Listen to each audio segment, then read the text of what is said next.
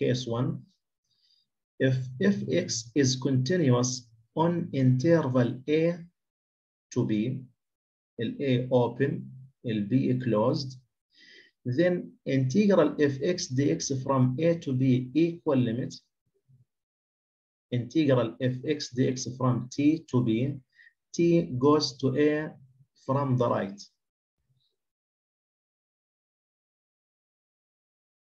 Um, إذا هنا إذا كان الفانكشن متصل من ال A لل B لكنه متصل عند ال B غير متصل عند ال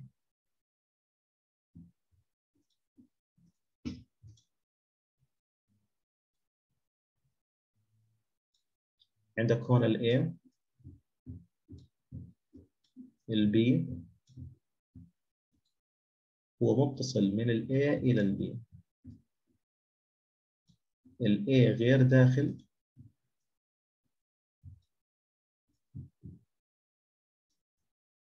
ال B داخل.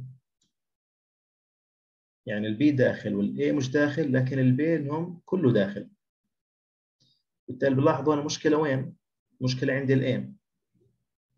طب كيف نتخلص من هذه المشكلة؟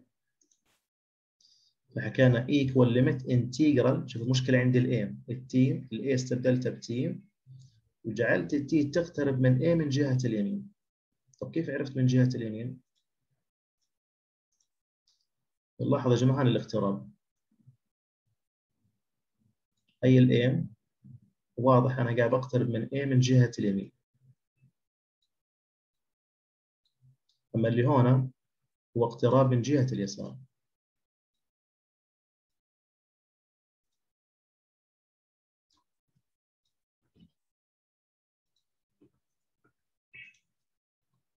طيب case 2 if if x is continuous on interval a to b then integral fx dx from a to b equal limit integral fx dx from a to t t goes to b from the left اذا هنا أنا مشكلتي وين مشكلتي في البي هون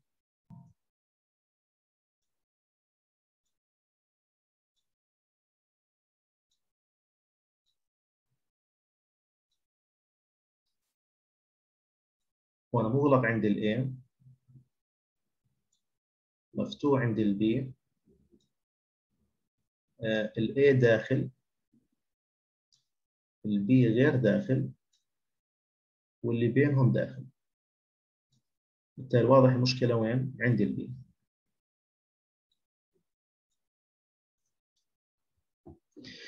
وبالتالي حتى نتخلص من هذه المشكلة التكامل يساوي limit انتجرال من A إلى T. هنا ال B تخلصت منه استبدلته ب T وجعلت T تقترب من B من جهة اليسار. هنا ال T بتقترب من B من جهة اليسار. هنا أنت عندك الاقتراب بهذا الشكل. انتهي ال B هنا اللي هو جهة اليسار. فواضح إنه ليش ال T بتقترب من B من جهة اليسار. The improper integral integral fx dx from a to b is called convergent if the corresponding limit exists and divergent if the limit does not exist. إذا هنا بالنسبة ل case 1 و case 2 إذا كانت الليمت موجودة بنحكي عنه converge وإذا كانت الليمت غير موجودة بنحكي عنه diverge. Case 3 if if x has uh, a discontinuity at x equals c where c belong a closed interval a b then integral fx dx from a to b equal integral fx dx from a to c a plus integral fx dx from c to b.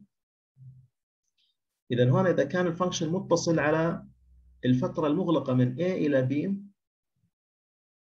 ما عدا عند النقطة c وهذه السي هي نقطة موجودة ضمن الفترة. إذا هو متصل على جميع النقاط ما عدا عند السي بهذه الحالة كيف بتعامل معاه؟ بهذا الشكل إني بعمل تجزئة من التكامل من A لل B والتكامل من A لل C إذا إيش هي C؟ هي النقطة اللي ضمن الفترة اللي بيكون عندها الفانكشن discontinuous زائد من C إلى B The integral from A to B convergence if the integrals from A to C and C to B both converge يعني بحكي لك هنا إنه التكامل من A لل B متى بيكون converge؟ إذا كان من A لل C ومن C لل B إذا كان converge. يعني لازم يكون كلاهما converge حتى يكون من A لل B converge. Otherwise the integral from A to B divergence.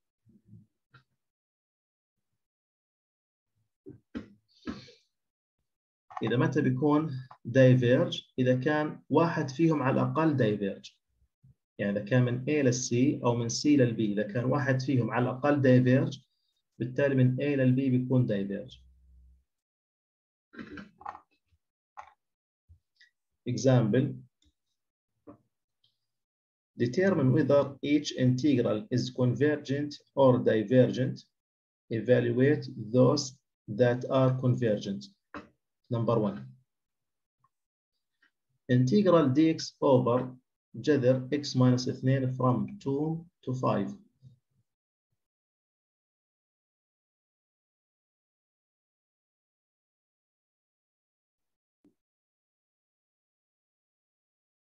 يا جماعة شو رأيكم مشكلة بالاثنين ولا مشكلة بالخمسة؟ ولا نقطة بينهم؟ المشكلة بالاثنين. ممتاز. مشكلة بالاثنين. خليها صفر لأنه. ممتاز. لأنه جينا عوضنا الاثنين يا جماعة. لاحظوا أنا شو بعطيك؟ اثنين ناقص اثنين zero. جذر ال zero zero. يعني أنت عندك بالمقام zero. وهم نعرف إذا كان المقام zero معناته أنا بيكون عندك undefined غير معرف. إذا أنا مشكلتي باثنين وليس بالخمسة أو أي نقاط ما بين الاثنين والخمسة. وبالتالي equal limit integral طبعا هنا المقام رفعته للأعلى x minus 2 الباور minus 1 على 2 dx from t to 5 t goes to 2 from the right. لأنه زي ما حكينا مشكلة بالاثنين فاستبدلت الاثنين بتي وجعلت التي تقترب من الاثنين من جهة اليمين الحين بدي أكمل وبعدين أعوض. لاحظ عندك مشتقة مداخل القوس موجودة مشتقتها واحد. وبالتالي بضيف واحد لل power وبقسم على نفس ال power. لما نضيف واحد للباور سالب واحد على اثنين زائد واحد بصير عندك واحد على اثنين. إذا ال power واحد على اثنين اللي هو الجذر التربيعي.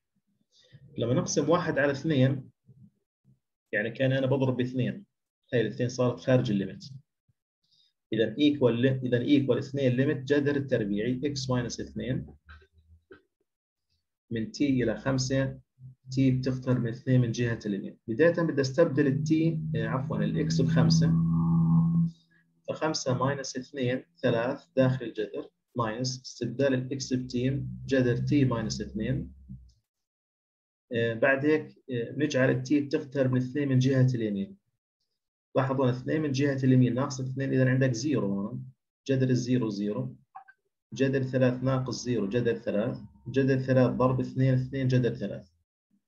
إذا معناته ال limit كان عندك موجود وقيمته 2 جذر 3 بالتالي التكامل من 2 لل 5 dx على جذر x minus 2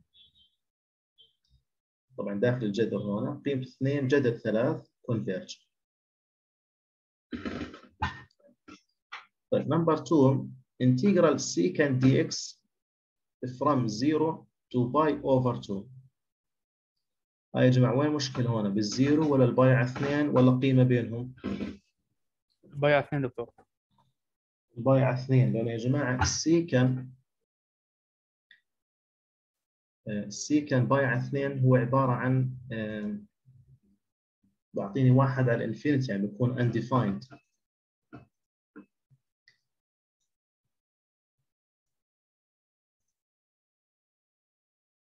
secant x هو عبارة عن واحد على cosine x. بالتالي secant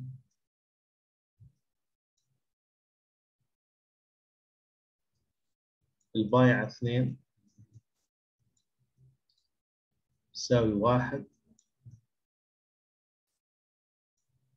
cosine pi على اثنين.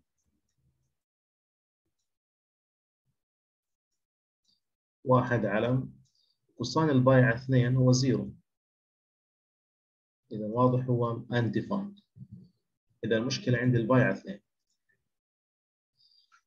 حتى نتخلص من هذه المشكلة equal limit integral secant x dx from 0 to t إذا باي على 2 استبدلته ب t وجعلت t تقترب من باي على 2 من جهة اليسار. طيب شو تكامل السيكن؟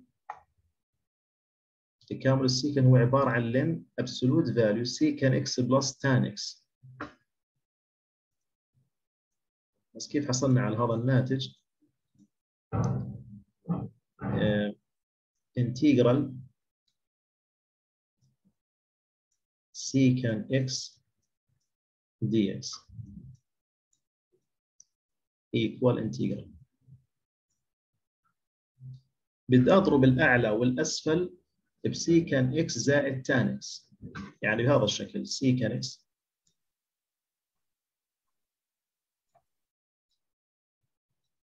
مضروبا ب secant x زائد tan x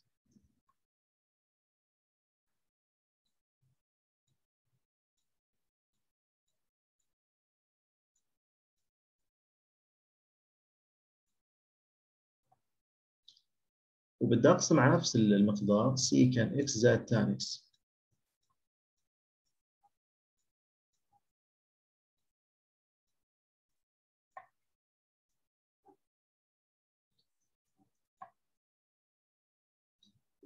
لما ندخل ال secant على القوس راح يصير عندك secant تربيع x plus secant tan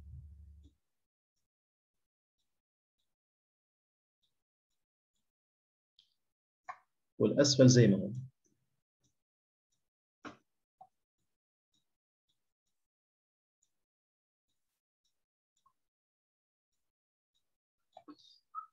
لو هون على الهامش بحثنا مشتقة المقام. مشتقة secant x plus tan x مشتقة ال secant؟ زي ما بنعرف هي عبارة عن secant في tan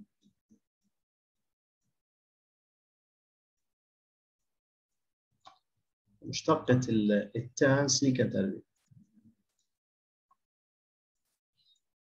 لاحظ إنه مشتقة المقام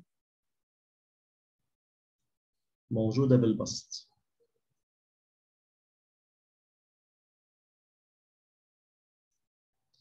وبالتالي كما مشتقة المقام موجودة بالبسط. إذا هون راح يكون عندك لن absolute value المقام.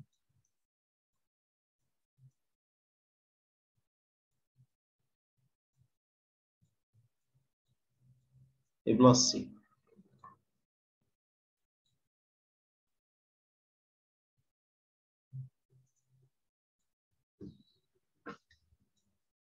إذا ناتج التكامل. صار عندك واضح. بعدين بنعوض بنعوض التي بعدين الزيرو عند استبدال ال x ب t يصير بهذا الشكل. ln absolute value secant t plus tan t minus. عند استبدال ال x ب zero ln absolute value secant 0 plus tan 0 secant ال zero واحد وال tan ال zero zero واحد زائد zero واحد. إذا عندك هون ln واحد زي ما بنعرف إنه ln الواحد قيمته zero. إذا هذا بروح يا جماعة. لأنه ln الواحد zero. إذا اللي صار عندك داخل ال limit اللي هو ln absolute value secant t plus tan t وعندك هون ال t goes to pi على 2 from the left. عند استبدال قيمة ال t pi على 2 من جهة اليسار عندك هون infinity هون.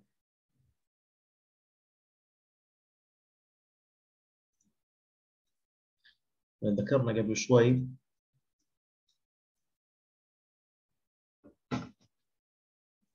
إنه السيكن واحد على كوساين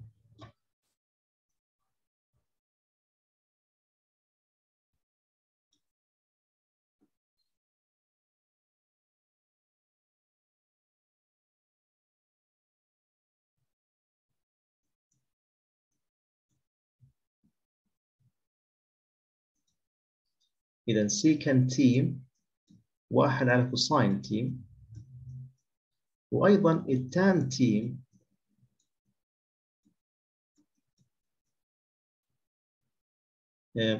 sine t على cosine t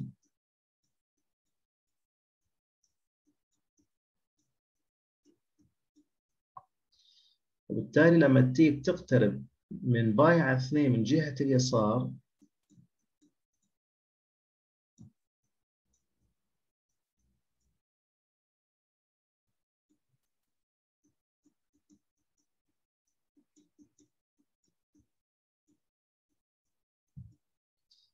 لاحظ هون عندك لما t تيجي تقترب من pi على اثنين من جهة اليسار بصير عندك هون واحد على inf... واحد على zero وبالتالي الناتج عندك infinity وأيضا هون عندك limit secant t. T goes to pi على اثنين من جهة اليسار. Equal infinity.